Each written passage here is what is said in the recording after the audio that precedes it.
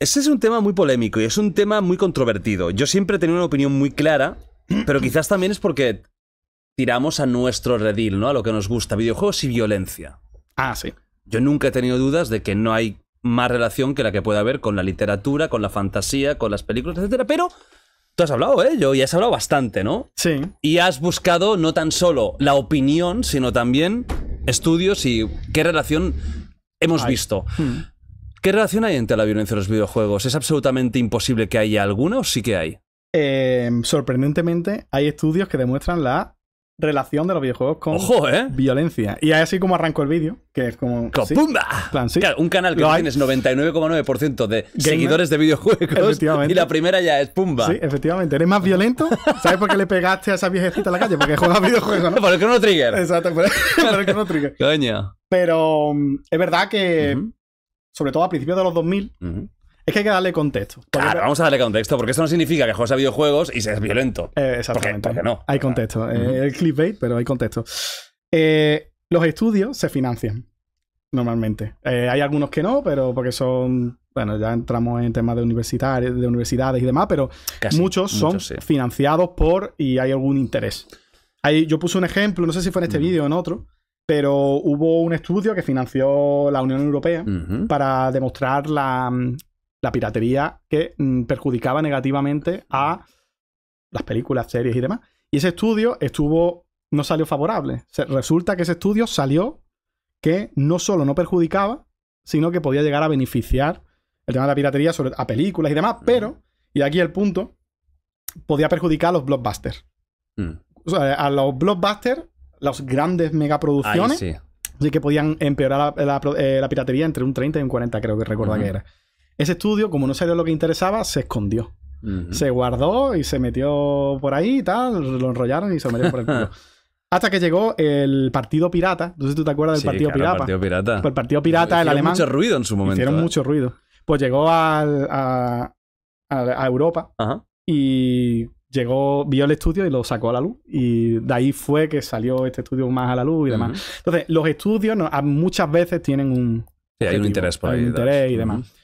Y en la época de los 2000, estamos hablando de la época de los videojuegos son Satanás, son el demonio, eh, los Nintendo. Irión, ¿eh? Exactamente, Se lo sabe, brother. exacto. Y lo- el gobierno, bueno, sobre todo, primero la prensa, pero también los gobiernos publicaban y criticaban mucho, o sea, culpabilizaban al videojuego de cualquier problema que hubiera.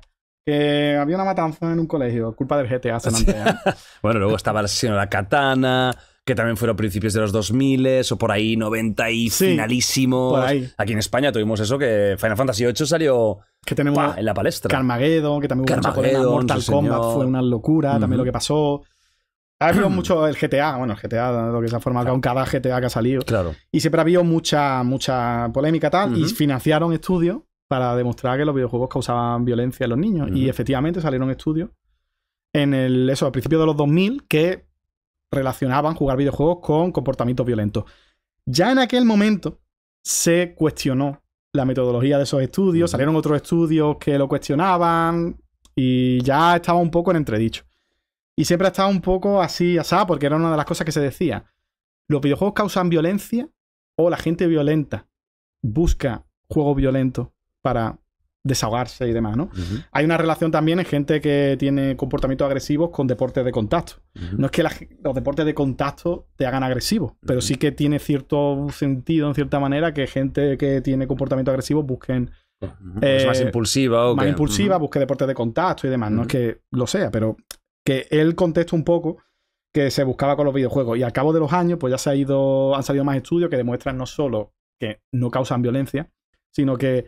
Porque de hecho hay, hay, un- hay una gráfica de la violencia entre jóvenes que ha bajado y las- los- la cantidad de videojuegos violentos que no ha hecho más que subir por la popularización del medio, como es obvio, ¿no? Entonces, pues no tiene lógica porque si fuera así estaríamos todos ligándonos a puñetazo. Claro. Pero sí es cierto que esto se obvia mucho, pero el tema es que los videojuegos. Sí que pueden, eh, sobre todo en chavales, porque esto puede pensar, bueno, pues entonces que los chavales jueguen a juegos más 18. Un chaval de 15 años, un chaval de 14 años que juegue al GTA. Pero es verdad que sí que se, hizo, se hicieron Bueno, que lo va a jugar, ¿eh? Bueno, sí, lo va a jugar. sí, sí.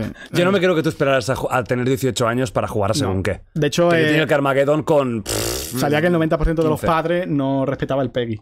Ni sabe lo que es. Ni sabe lo que es. O sea que- o sea que- Vamos, clarísimamente. Y mm, salieron estudios que también relacionaban el hecho de mm, el- los, sobre todo en gente joven, cómo perdían eh, el jugar a juegos así violentos, podían hacerles perder un poco mm, la- el contacto o es que no sé la palabra O exactamente. sea, como que ayudan a deshumanizar, quizás. Exacto, o- ayudaban a deshumanizar. El ejemplo que ponían, que pues, suena a coña, pero es que eh, el ejemplo que ponían principal, era las prostitutas del GTA.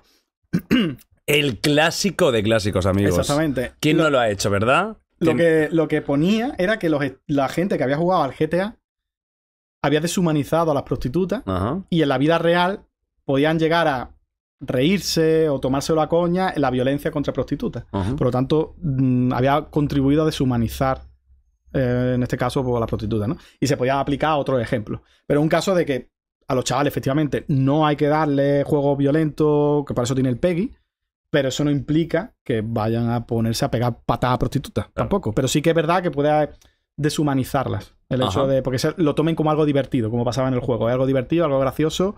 Y rompe un poco esa relación de que hay una persona Claro, detrás. ese impacto, ¿no? Exacto. Entonces, pues bueno, no es así, pero hay que tener también un poco de, ¿sabes? Un poco de cuidado con estos temas. Claro. Todo con los niños, que es verdad que... ¿Tú qué, ¿Tú qué harías con los juegos violentos y los chavales? Porque 18 años yo creo que ya es imposible. O sea, no, no, nadie va a esperar a 18 para jugar a un GTA. No. De hecho, ¿cuánta gente menor de 18 años debe jugar a GTA V? Eh, nada, es que... O sea, no, no creo que haya nadie que esté esperando, uy, ya, pasado Ahora, mañana tengo sí. 18, qué bien podré jugar. No. Yo creo que incluso con 16, 17 años ya eres consciente... Yo creo que es más importante, importante quizás tener unos padres que Sí. cuando, aunque tengas 14 años, van a estar a tu lado cuando empieces el GTA y te digan, mira, eso es una ficción. Esto Mm. es, esto, esto no tienes que hacer lo que hay- hagas en el juego. Y Mm. yo creo que es más importante una buena educación que no que con 12, 13 años, tío, yo con, no te diría la edad, pero no sé, yo había visto pelis como Pesadilla en el Street con Sí. 12 años, 11, que era un tío con unas cuchillas en la mano destripando a gente. Eh, y precisamente Y no- es que hoy día estamos en un mundo con violencia por todas las en Por todos cine, en lados. películas, en la en las redes sociales, realidad. por todos lados. O sea, catalogar, bueno, incluso en lo, en lo informativo. Claro. De repente te ponen prime time, yo que sé, un accidente o un atropello y te lo ponen con cero censura. O sea, realmente estamos tan rodeados de violencia que nos echarle la culpa a los videojuegos como único factor que ha contribuido. No tiene, no le veo. Ya de, par- de por sí lo veo. O sea, yo creo que más que los videojuegos sean violentos es más un reflejo de lo que realmente es el ser humano, que es un ser violento, Sí. más que no al revés. Es decir, eh, los videojuegos son una creación humana, no, los humanos no somos una creación de un concepto llamado videojuegos. Nos Mm. hemos creado un poco a nuestra imagen y semejanza. En todos los juegos se mata, incluso en Mario. Las tortuguitas, Sí. esas te han hecho daño. Sí. Pues si no, po- verdad. pobreticos, si son una cosa más bonita. Pues toma, saltando que le den por el culo. De hecho, Fortnite eh, tiene un Peggy, Peggy 8, creo que es. Sí. Y disparas a gente. O sea, que pasa que como no hay sangre, creo Ya, es muy cartoon. Muy cartoon. Pasó un poco el límite, pero yo qué sé, estás disparando a gente en el Fortnite. O sea, que quiero decir, la línea también Mm. es un poco difusa. Es que no sé. Yo creo que es un tema más educativo, tío. También, ha- Sí, lo que es el tema de educar. ¿Tú ¿No te acuerdas hace muchos años que eh, no, sé- no sé qué película de Superman fue, pero fue una película de Superman, creo que de Christ- Christopher Reeve, las clásicas. Mm. Que un niño, pensando que podía volar como Superman, saltó Es desde verdad, un. X eh, piso muy elevado y se mató, pensando que podía volar.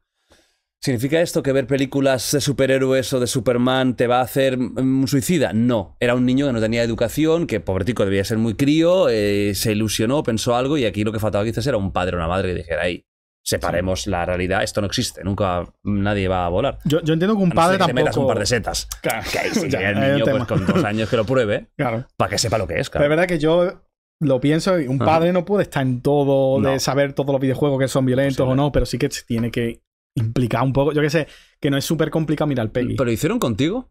Conmigo no. Conmigo no. O sea, mis padres no han sabido nunca, jamás, ni qué videojuego yo jugaba. Es decir, También es verdad que mis padres, por ejemplo, eh, nunca han demonizado los videojuegos en el sentido de que siempre ha sido modernito, incluso el rol.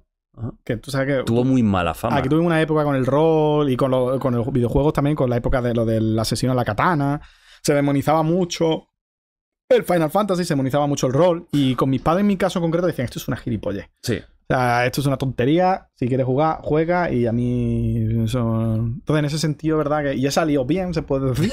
no, bueno, so- mira cómo estamos. Claro, Tatuado. No, esto no hemos salido Nah, bien. agresivos. Somos una basura. Haciendo dogfight yo. Es verdad. Eso es una vergüenza. O sea, no hemos salido bien, tío. No, no ha salido bien. La, la tirada ha sido tirada de rol La demostración de que casan violencia. de que la violencia no es buena en ningún sitio.